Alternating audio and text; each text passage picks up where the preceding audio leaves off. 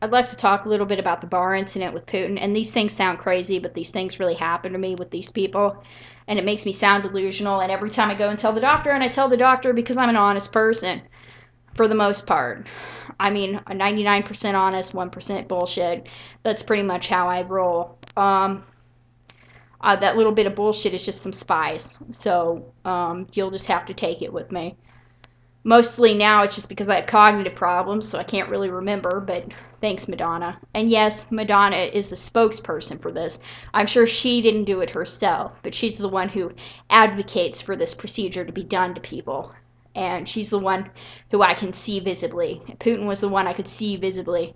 And you know, he he had like this security service come and fling their hand into my face and be like, "You're a rude girl. You're a rude girl." It's like, great, I'm a dead girl. I'm a dead girl because that just attracted a bunch of attention to me and they're all like attention getting. I'm not very attention getting because like I kind of just do my own thing and like I just everybody ignores me for the most part.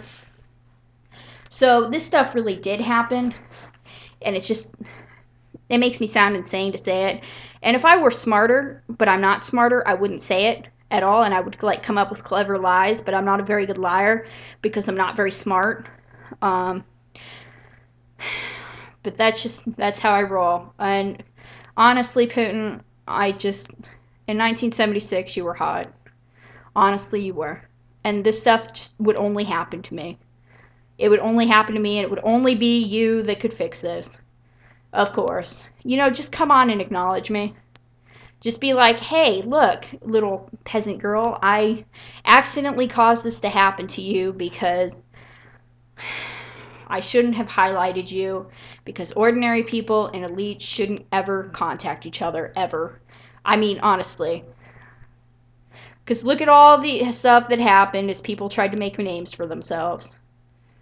All the usual bullshit. And that wasn't the bullshit that is included in me.